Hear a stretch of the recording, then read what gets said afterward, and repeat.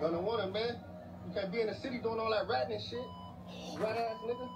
Oh, he called him out. Yeah, bro. I mean, shit. It is what it is. If they got the paperwork on him, yeah. Do him like they did six nine. Yeah, yeah. It's it's that type of time.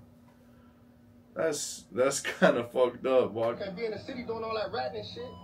Rat ass nigga. Bro, his his his whatever whoever that was, the female behind him was ready to step. That's funny. Uh, we we have one more here.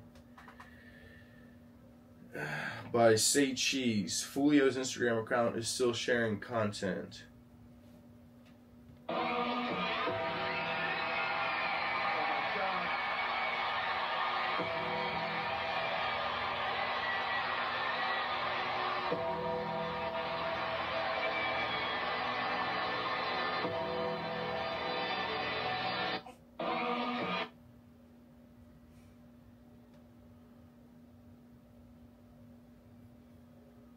But damn, and then he commented, he commented, Julio Foolio commented on that.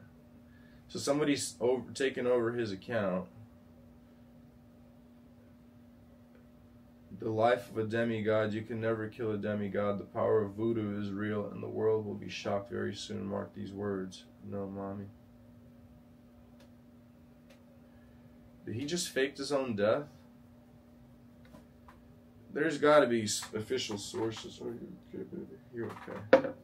There's got to be official sources here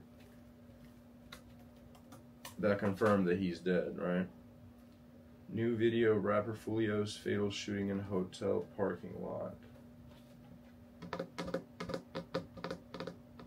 Foolio's Instagram account posts weird content after his death. Fu- Foolio's hacked IG comments on leaked photo of his alleged killer. Fu- Foolio's mother speaks out about son's death, announces documentary. It's just sad from all angles. Um,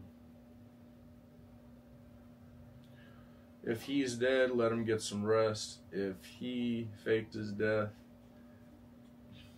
that's that's that's some man. If you can pull that off, that's some good ass marketing. But I don't think he did. Let him rest in peace. Um, praying for his family.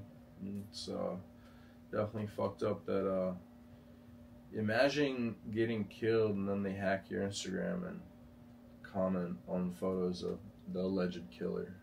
That's just that's just wrong. That's just